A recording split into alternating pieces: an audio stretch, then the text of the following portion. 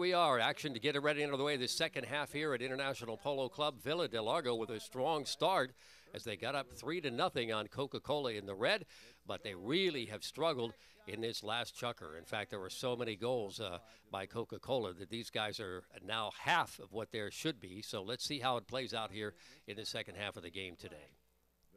Pick up on the angled shot was that uh, Pelon Escapite on the far side. And here's the follow-up now. Magoo cannot quite get a handle on it as Gillian Johnston digs it out of there.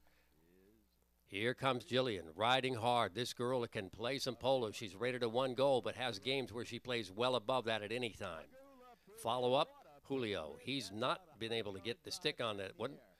Great game so far today, though. He's knocked in a lot of goals for the red and white team.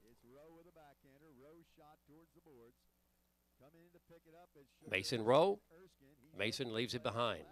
Mason with a debut performance here today. This guy has really, really had an outstanding game. Now Villa del Lago with the ball. This is Magoo. Magoo Laprida between two white shirts. Has he got room to get it out of there? Julio challenges. He gives it a hook and a hit at the same time.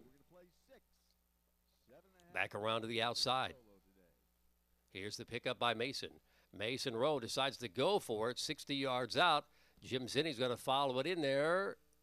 And it's going to be wide. Mason Wroe from Team USPA in a great performance here in his first time in the high goal polo. Magoo, they say play. Nobody's paying attention from 40 yards. Magoo makes a run at it, and he's got the goal. A nice trick play as Magoo at least closes the gap a little bit, 8 to 4. Going the other way again. A nice pickup. This is number four, Matthias Obregon. Obregon rated at five goals, cutting the angle. He's got that one. They're trying to play some catch up now. Villa del Lago at the end of four. It is eight to five. Picking up the action now in the fifth chucker of the Herbie Pennell Finals. Julio Arellano, a big pickup. He's 200 yards from goal. Look at this. He's all alone as he crosses midfield. Julio picks it up, cuts the angle to the right side. This is going to be a solo run. Can they catch him? One shot to go. Wind up, half shot, goal. Julio Arellano, his seventh goal of the game, and a great performance on that solo run after he stole the ball away at the other end of the field. Now Julio going back to the left, picking it up on a penalty shot. Wind up, delivers underneath it, 60 yards out, and he nailed it. Great effort. Julio Arellano now has doubled it up again on Villa del Lago as it goes up 10 to 5 in favor of the red and white team. Breakaway shot going to the south end. Obregon goes back, slides a backhander out of the way. Julio on the pickup, though. The shot was a little bit short, so Julio in control. Checks down in front of another man. There's Gillian on the backside. She picks it up. Gillian around to the left has a chance. Here she comes. One more time. Can she do it? Yes. Gillian Johnston for Coca Cola. And now at 11 to 5, this is a rout.